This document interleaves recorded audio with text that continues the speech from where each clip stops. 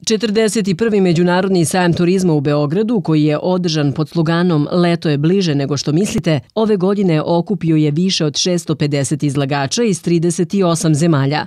Prostor Beogradskog sajma od 21. do 24. februara pretvorio se u mesto na kome se mašta i sanja i prave veliki planovi za ovogodišnje odmore. Među brojnim izlagačima mnogi posetioci su uspeli da pronađu idealan aranžman za letnji odmor. Po vašem mišljenju, kakva je ove godine ponuda na sajmu turizma i da li ste vi već izabrali neku zanimljivu destinaciju za leto? Pa sam da sam prvi put na sajmu, mogu da vam kažem da je jako divno, ima dosta izlagača i dosta mi se sviđa putovanja po Africi i, i Turskoj. Da li to znači da ove, ovog leta letujete negde u Africi? Pa najvjerojatnije, ako Bog da, vidimo se u Africi.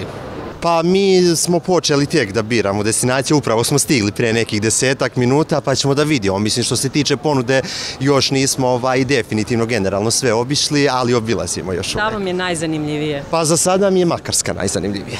Nju, nju Rusija, ja stvarno nema, meni je, sve mi se sviđa, sve mi se onako, sve mi je zanimljivo. Da vidim banje, ovaj, i možda Grčku, a ništa drugo. Sarim Saklit, njihov aranžman, izuzetno lepo letovalište u Turskoj, izuzetno povoljne cene, lepe plaže, tako da smo to uzeli. Recite mi, može li na ovom sajmu da se ostvari neki popust za ove ranije rezervacije? Može. E, konkretno za ovaj aranžman 10% popust. Za mene je Maroko najinteresantnija zemlja na svetu. Putujem u Grčku, ali za Maroko sam vezana i privatno, tako da Kazablanka, Marakeš, hvala im što su došli. Znači ove godine Maroko? Nadam se, učestvujem u nagradnoj igri, pa držite mi palčeve. I pored dobre ponude egzotičnih destinacija koje su uglavnom namenjene turistima sa dubljim džepom, u turističkim agencijama kažu da je za Srbe i ove godine Grčka destinacija broj 1.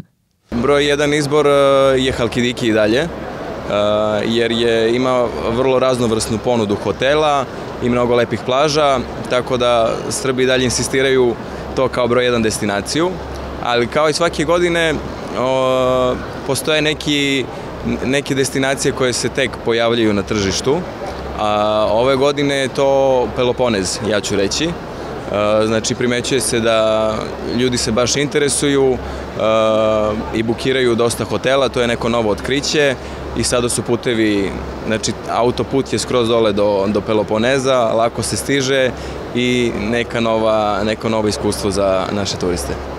Po rečima predstavnika turističke agencije Bambus, mnogi turisti će ovoga leta baterije napuniti na nekom od grčkih ostrva, a pored toga jedan deo turista i ove sezone ostaje veran domaćem turizmu. I ove godine agencija Bambus u svojoj ponudi ima veliki broj e, destinacija.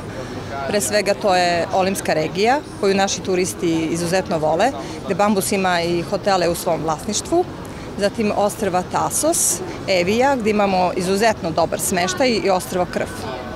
Takođe imamo naš hotel u Budvi, Bambus, koji se nalazi na izuzetnoj lokaciji, kao i hotele u Srbiji, u Vrnjačkoj banji i Sokobanji.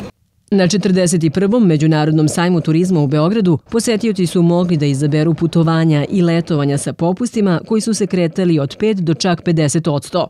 Po prvi put na sajmu su se predstavili Maldivi, a ove godine na Beogradski sajam turizma vratile su se Indonezija i Kuba. Zemlja partner ovogodišnjeg sajma bila je Bugarska, što ne čudi kada se ima u vidu da preko 470.000 bugarskih turista godišnje poseti našu zemlju. Na sajmu su se predstavile i turističke organizacije gradova iz Srbije zajedno sa našim najboljim proizvodima i suvenirima. U okviru sajma turizma održan je i sajam hotelijerske opreme, suvenira, a jedan od događaja koji je privukao veliku pažnju posetilaca je i sajam vina. Ovogodišnji sajam turizma u Beogradu posetilo je oko 70.000 ljudi.